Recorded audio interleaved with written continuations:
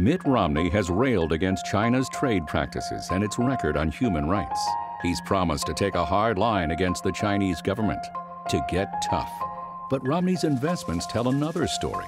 He has hundreds of thousands of dollars invested in a Bain Capital Fund that owns a company supplying the Chinese government with cameras to monitor its people, intimidating those who speak out.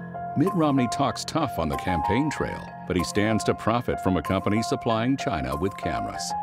Cameras that human rights advocates say allow the government to keep tabs on ordinary citizens. Mitt Romney, one set of rules on the campaign trail, another set of rules for himself.